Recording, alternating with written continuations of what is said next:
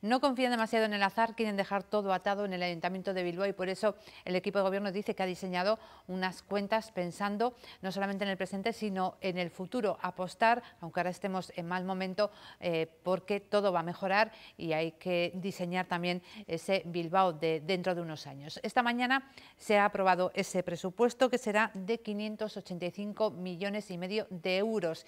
Entre los temas que se han tratado y que no han tenido eh, consenso, el de soterrar la estación de FEBE a su paso por Zorrocha. Eh, unos dicen que se hará gracias a ellos y todos eh, quieren llevarse este, esta promesa que todavía no se ha cumplido.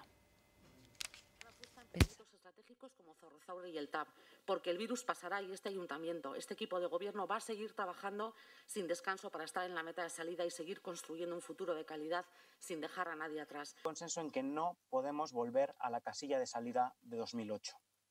Bueno, menos en Bilbao donde lo que se plantea es seguir haciendo lo mismo que en 2008. Esconder la cabeza como las avestruces y esperar a que escampe, eh, como si así todo fuera a volver a una situación anterior. Para mejorar la movilidad y la accesibilidad en los barrios, para invertir en la, en la infraestructura ciclista, para resolver de una vez por todas, por todas cuestiones como el soterramiento del tren de Zorroza. Estará conmigo que tener que escuchar que empieza a dar sus frutos la reivindicación y lucha de H. Bildu en relación al soterramiento de las líneas de FEBE a su paso por Zorroza, me va a permitir, señora Fatuarte, decir que ya esto es la repanocha.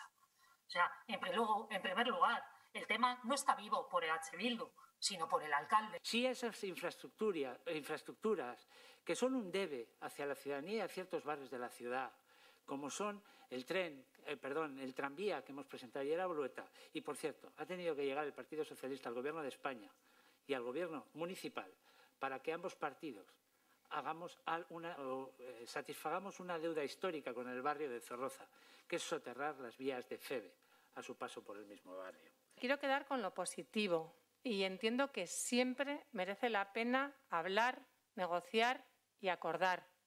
Eh, seguramente a algunos les parecerá poco, pero seamos realistas y creo que merece siempre la pena el intento y máxime cuando además hemos conseguido acordar.